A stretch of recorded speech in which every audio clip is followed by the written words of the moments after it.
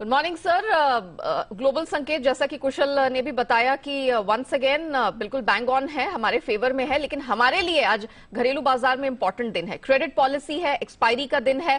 Sir बाज़ार में क्या मूड मिजाज रहेगा क्या करना चाहिए? और उसके साथ ही रिजल्ट्स के लिहाज से भी yes. बड़ा दिन है।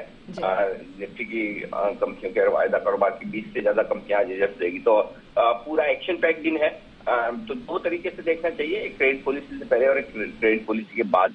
तो क्रेडिट पॉलिसी की बात तो चलिए गवर्नर साहब तय करेंगे कि बाज़ार की दिशा दशा क्या रहेगी, लेकिन उससे पहले का जहाँ तक माहौल है, वो काफ़ी बेहतर है। एक बहुत अच्छी बात जो है, जो घरेलू आंकड़ों में दिख रही वो ये कि कल के सेशन में नेट नेट एफ़ की तरफ़ से पहली बार लंबे समय के बाद कैश और फ़ायदा कारोबार के आंकड़ों को मिलाकर देखें तो खरीदारी के आंकड़े आते हुए दिखे। स्टॉक फ्यूचर्स में इंडेक्स फ्यूचर्स में खरीदारी की और कैश मार्केट में लंबे समय बाद बिकवाली का जो आंकड़ा है, वो हज़ार करोड़ से नीचे का उससे कहीं ज़्यादा इनफैक्ट दुगुना खरीदारी का आंकड़ा घरेलू फंड की तरफ़ से आता हुआ दिखा। तो दो अच्छी चीज़ें हुई है। एक, ग्लोबल संकेत बहुत अच्छे हैं। दूसरा, आपके लिए एफ़ और घरेलू फंड के आंकड़े अच्छे हैं। तीसरा सेंटिमेंट के लिहाज से हम थोड़े बेहतर हैं ही, इसमें कोई डाउट नहीं है। बस एक ही चीज़ है कि आज रियल्स के लिहाज से बड़ा दिन है क्रेडिट पॉलिसी है वीकली एक्सपायरी है। तो फैक्टर्स बहुत सारे हैं बट ओवरऑल रुझान तेज़ी की तरफ़ है मूड तेज़ी की तरफ़ है। तो अभी जो मैं लेवल्स दे रहा हूँ, वो आपको अब से लेकर क्रेडिट पॉलिसी तक के लिए है। इनको ध्यान में रखिए। खरीदारी करने का तो डेफिनेटली आपका इरादा होना चाहिए। और अगर कम गैप के साथ खुले चालीस पचास पॉइंट के ऊपर खुले निफ्टी तो वहाँ पर आपके लिए खरीदारी करने का एक मौका बन जाएगा। इसमें कोई डाउट नहीं। तो जो रेंज आपके लिए सपोर्ट के तौर पे है, वो सत्रह, दो सौ पचहत्तर, सत्रह, तीन सौ पचास के की रेंज आपके लिए निकल कर आती है। जहाँ पर आपको फोकस करना है सपोर्ट के लिहाज से। यहाँ से हम ऊपर बढ़कर अगर आगे चलते हैं तो सत्रह हज़ार पाँच सौ पचहत्तर, सत्रह हज़ार छह सौ पच्चीस ये तुरंत प्रभाव से रेंज जहाँ तक जाने की कोशिश कर सकता है और उसके बाद सत्रह छह सौ पचहत्तर सत्रह सात सौ पचहत्तर फाइनल टारगेट निफ्टी का निकल कर आता है। तो इस रेंज की तरफ़ जाने की कोशिश निफ्टी की हो सकती है। एक बार सत्रह पाँच सौ को पार करके टिके तो जिसकी संभावना पूरी है कि आज हम सत्रह पाँच सौ के आसपास या इसके ऊपर खुलने की कोशिश करेंगे।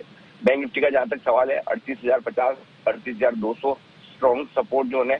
हल्की सी रुकावट की लेवल है, अड़तीस, आठ सौ पचास, उनचालीस हज़ार पच्चीस आई एम श्योर उसके आसपास हम खुलेंगे और उनचालीस हज़ार को पार करके ठीक है फिर उनचालीस, तीन सौ, उनचालीस, चार सौ की रेंज में बैंक निफ्टी भी जाने की कोशिश कर सकता है।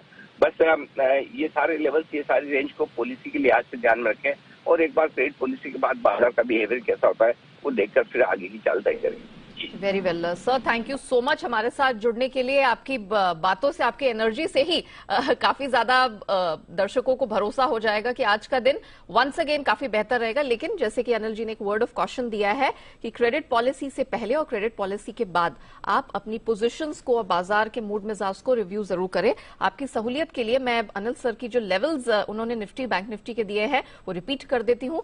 सत्रह दो सौ पचहत्तर तीन सौ पचास एक सपोर्ट रेंज रहेगी निफ्टी में।